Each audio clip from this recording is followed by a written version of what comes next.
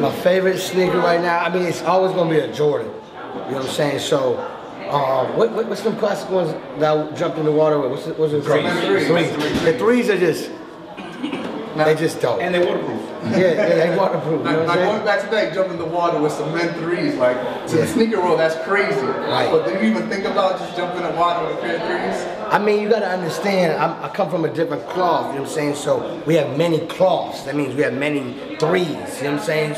But not just that, you know, they help me catch air. So I couldn't just put any shoe on. You know, Jordans really help you catch flight, you know what I'm saying? Like, so, you know, it was only right for me to represent Jordan the right way, you know what I'm saying? So when I jump in that water, you know what I'm saying, it was, it was important. I ain't gonna lie, it would be the threes. It would be the threes, the, the white ones and the black ones. You know what I'm saying? Like those are like are my favorite. All of the Jordans I love, but those are like they're timeless, you know? All of them are timeless too, but you know, I like those, you know? Yeah. So now, And you know the threes that there's threes and then there's another three. The one with the beige marks, you know what I'm talking about? The back is a beige. You know, cause you be wa- OGs. yeah, the OGs. Like you see some people out there walking through, but then use another, you know what I'm saying? Like only us would, cloth. right, it's a whole other cloth going on. You know what I'm saying? now, um, if you could design one, one, one sneaker, what would it be?